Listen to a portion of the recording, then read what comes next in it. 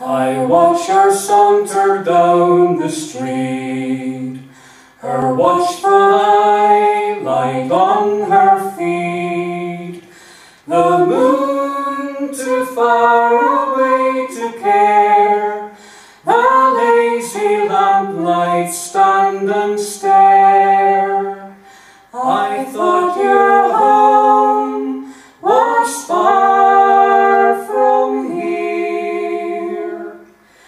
And from the corner of my eye, I see the cars are flying by.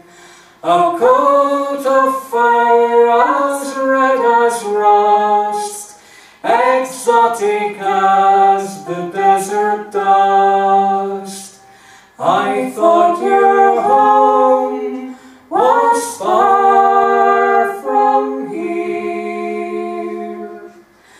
I thought the forest was your home. The morning fields for prey you'd roam. Yet here you stand and catch my eye, as if to say, this place was mine. And once your home.